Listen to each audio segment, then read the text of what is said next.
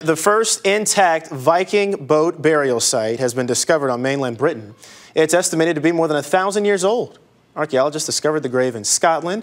It contained the remains of a Viking chief who was buried with an axe, sword, and spear, along with a boat.